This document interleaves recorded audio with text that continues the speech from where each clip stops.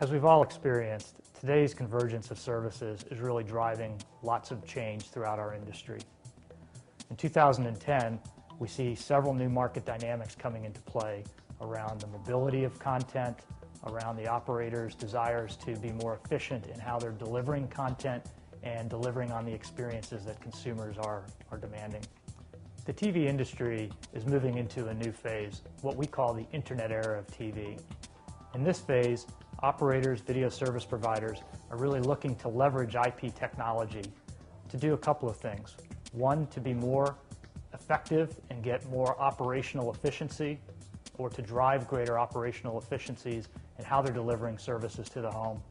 And also leveraging the new technologies to accelerate the rate of innovation as to how they're bringing new services to market. New content management strategies are really required and necessary as we try to deliver on the three screen experiences that consumers are looking for. We need to really focus on strategies around content acquisition, content management, and then content distribution to the multitude of different platforms that a consumer is looking to utilize. Motorola helps our customers prepare for what's next by anticipating these market challenges, by developing innovative solutions, and by helping the operators transform these challenges into key market advantages for them. Innovation remains our top priority.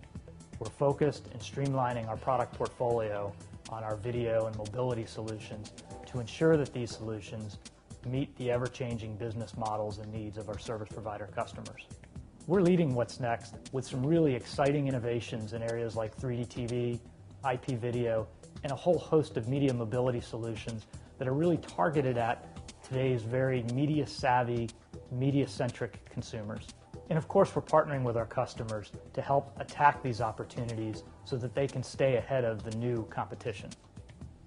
Motorola is in sync with consumers across the generations and understand their needs for media mobility and social networking and how to meet those needs.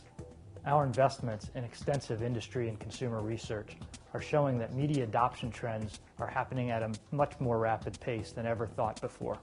Now that the boomers and Gen Xers, who really are at their peak earnings and spending levels, they're all demanding more applications, applications that are driving much greater demand for bandwidth on the networks.